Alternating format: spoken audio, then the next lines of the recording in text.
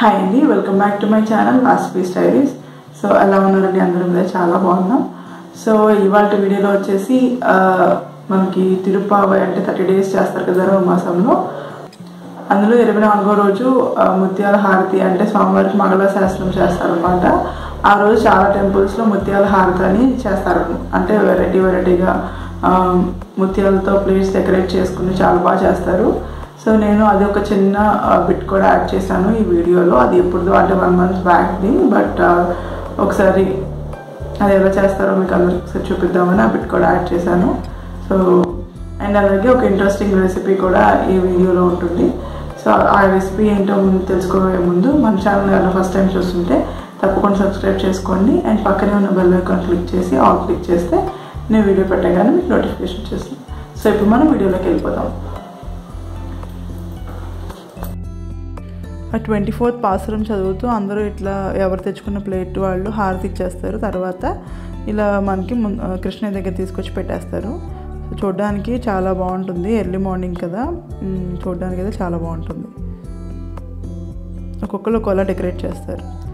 So ఇప్పుడు మనం రెసిపీలోకి వెళ్ళిపోదాం. ఇవాళ వచ్చేసి నేను మీరు కానీ తమ్నైలో చూసినట్టు ఆరెంజ్ కుల్ఫీ అనేది తయారు చేస్తున్నాను. సో ఆరెంజ్ కుల్ఫీ కోసం ఫస్ట్ అయితే మనం థిక్ బాటమ్ ఉన్న ప్యాన్ తీసుకోవాలి. అదే నేను ముందు చూపించాను మీకు. దీనిలో మనం మిల్క్ తీసుకోవాలి. సో నేను ఇక్కడ వచ్చేసి ఫుల్ ఫ్యాట్ మిల్క్ తీసుకుంటున్నాను. అంటే ఇది మన క్రీమ్ మొత్తం హండ్రెడ్ పర్సెంట్ ఉన్న మిల్క్ తీసుకున్నాను one litre. So one litre milk తీసుకుని దాన్ని మనం అట్లీస్ట్ త్రీ ఫోర్త్ వచ్చేంత వరకు మరిగించుకోవాలి. ఆ తర్వాత నెక్స్ట్ ప్రాసెస్లోకి వెళ్ళొచ్చు. మీకు కనుక థిక్ బాటమ్ అయితే కనుక మీకు ఎక్కువ మాడిపోకుండా అట్లా ఉంటుంది. బట్ మధ్య మధ్యలో మిక్స్ చేసుకుంటూ ఉండాలి. ఇది కనుక సిమ్లో పెట్టేసి మీరు మరగడానికి వదిలేసినా పర్వాలేదు. సో చూసారు కదా ఇట్లా మరిగిపోతాయి నాకు ఇదంతా మరగడానికి సిమ్లో పెట్టేసి అట్లీస్ట్ వన్ అవర్ పట్టింది. సిమ్లో పెట్టేసి వదిలేసాను ఒకవేళ మీకు తొందరగా అవ్వాలనుకుంటే హై ఫ్లేమ్లో పెట్టుకొని తిప్పుతూ ఉండాలి ఇట్లా. లేదు మనకి సిమ్లో మనకి లేట్ అయినా పర్లేదు అనుకుంటే సిమ్లో పెట్టేసి ఇట్లా వదిలేసేయచ్చు. ఆల్మోస్ట్ మరిగిపోయినాయి కదండి. ఇప్పుడు మనం ఇంకా నెక్స్ట్ ప్రాసెస్లోకి వెళ్ళిపోవచ్చు. నేనైతే టూ స్పూన్స్ వరకు షుగర్ వేసుకున్నాను. అంటే స్వీట్నెస్కి సరిపోతుంది. ఎందుకంటే పాలలో ఆల్రెడీ మనకు లైట్గా స్వీట్నెస్ ఉంటుంది కాబట్టి టూ స్పూన్స్ అయితే సరిపోయింది. మీకు కనుక ఇంకా కావాలనుకుంటే ఇంకా ఎక్కువ యాడ్ చేసుకోవచ్చు మీ స్వీట్నెస్ని బట్టి. అండ్ అలాగే తర్వాత నేను ఒక పావు కప్పు డ్రై ఫ్రూట్స్ తీసుకున్నాను. కొంచెం బాదం పప్పు అండ్ కొంచెం అలాగే జీడిపప్పు దాన్ని పలుకులుగా కట్ చేసుకున్నాను. ఒక టెన్ బాదం పప్పు టెన్ జీడిపప్పు అనుకోండి. సో అవి యాడ్ చేసుకుంటే సరిపోతుంది. ఎందుకంటే మనకి అలా కుల్ఫీల మధ్యలో పలుకులు తగులుతూ ఉంటాయి కదండి. అవి యాడ్ చేసుకుంటే చాలా టేస్ట్ ఉంటుంది.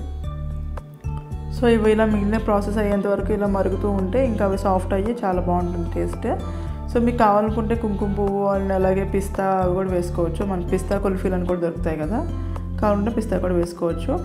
అండ్ ఇంకా రిచ్ క్రీమీ టేస్ట్ కోసం ఇలా పాల పైన మీగడ ఉంటుంది కదండి ఆ మీగడ నేను కొంచెం స్టోర్ చేసి పెట్టుకున్నాను. అది ఒక టూ స్పూన్స్ యాడ్ చేస్తున్నాను. సో చాలా క్రీమీగా చాలా బాగుంటుందండి ఈ కుల్ఫీ. ఎందుకంటే మనం ఫుల్ క్రీమ్ పాలు తీసుకున్నాం. అండ్ అలాగే ఆల్రెడీ ఉన్న క్రీమ్ కూడా యాడ్ చేసాము. సో ఇవన్నీ మిక్స్ అయ్యేదాకా బాగా కొంచెం సేపు మరిగించుకోవాలి.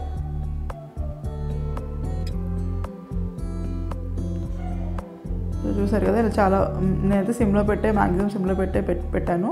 మీకు కావాలనుకుంటే మీడియం ఫ్లేమ్లో కూడా పెట్టుకోవచ్చు బట్ దగ్గర ఉండాలి. సో ఇక్కడ చూసారు కదా థిక్ లిక్విడ్ లాగా అయిపోయింది. ఇప్పుడైతే మనం ఇంకా అయిపోయినట్టే అండి కుల్ఫీకి. మనకు రెడీ అయిపోయినట్టే. దీన్ని ఇంకా గోరువెచ్చగా అయ్యేంత వరకు వెయిట్ చేయాలి. ఈ లోపల మనం నెక్స్ట్ ప్రాసెస్ అంటే మనం ఆరెంజ్ కుల్ఫీ అనుకుంటున్నాం కాబట్టి మనకి నార్మల్ ఆరెంజెస్ కాకుండా ఇలా హైబ్రిడ్ వెరైటీ దొరుకుతాయి కదండి అవైతే బాగుంటాయి. నార్మల్ ఆరెంజెస్ అయితే మనకి ఇలా లోపల తీయడానికి రాదు. ఎందుకంటే స్కిన్ కొంచెం పలుచగా ఉండి విరిగిపోతుంది. ఇవైతే స్కిన్ కొంచెం గట్టిగా ఉండి మనకు మౌల్డ్ లాగా అవడానికి బాగుంటుంది అనమాట సో ఈ లోపల స్పూన్తో ఒక స్పూన్తో తీసుకొని మొత్తం లోపల ఉన్న గుజ్జంతా తీసేసేయాలి. సో ఇక్కడ నుంచి తీసేస్తున్నాను. స్పూన్ రివర్స్ చేసుకుని జ్యూస్ మొత్తం తీసేసేయాలి. అంటే ఆ లోపల ఉన్న పల్ప్ తీసేసుకోవచ్చు. కాదు కొంచెం కేర్ఫుల్గా తీయాలండి. ఎందుకంటే తర్వాత స్కిన్ కనుక పాడైతే మనకి ఇది పనికిరాదు.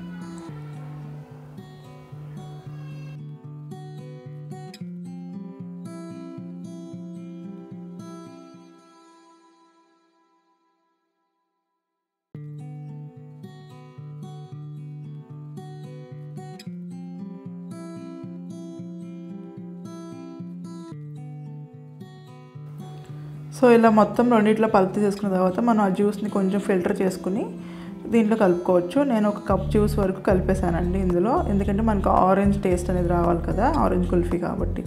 అదే మీరు నార్మల్ కుల్ఫీ చేసేసుకునే లెక్క అయితే ఆ ముందు ఉన్న మిల్క్ మిక్చర్తో కుల్ఫీ చేసేసుకోవచ్చు. సో ఇలా నేను ఆరెంజ్ జ్యూస్ కలిపేసుకున్నాను. తర్వాత మనం ఇంకా మౌల్డ్స్లో పోసేసుకోవటమే. మనకు ఆల్రెడీ ఆరెంజెస్లోంచి పళ్ళు తీసేసాం కాబట్టి అవే మనం యూస్ చేసుకుంటున్నాము. సో ఇలా మౌల్డ్లో పోసేసుకోవటం. మౌ- అంటే అదే ఆరెంజ్ని మనం మౌల్డ్ లాగా వాడుకుంటున్నాం ఇక్కడ. కానీ చాలా బాగుంటుంది టేస్ట్ మనకి ఆ తొక్కల్లోని లైట్ సార్ టేస్ట్ అవంతా మిక్స్ అవుతుంది కుల్ఫీలో. చాలా టేస్టీగా ఉంటుంది. అంటే ఆ టేస్ట్ నచ్చిన వాళ్ళైతే నార్మల్ కుల్ఫీలా చేసేసుకోండి. బట్ ఆ టేస్ట్ నచ్చితే కనుక చాలా బాగుంటుంది కుల్ఫీ కనుక సో ఇలా నేను రెండు ఆరెంజెస్లోనే వేసుకున్నాను. మిగిలిందంట మనకి మౌల్డ్స్ దొరుకుతాయి కదా కుల్ఫీ మౌల్డ్స్ ఆ కుల్ఫీ మౌల్డ్స్లో ఫిల్ చేసేసుకున్నాను. సో ఆ పైన మనం తీసేసిన తొక్కలోనే మనం దాన్ని క్యాప్లా వాడుకోవచ్చు. సో వీటిని ఓవర్ నైట్ ఫ్రీజ్ చేసుకోవాలి. ఆర్ఎల్స్ మార్నింగ్ అదే కొంచెం కనీసం ఒక ఎయిట్ అవర్స్ వరకు ఫ్రీజ్ చేసుకోవాలి. సో నేను చెప్పాను కదండి మనకి ఆరెంజ్ మౌల్స్ ఉంటాయి కదా ఇట్లా కుల్ఫీ మౌల్స్ వాటిలో నేను మిగిలిన మిక్చర్ కూడా ఫిల్ చేసుకున్నాను.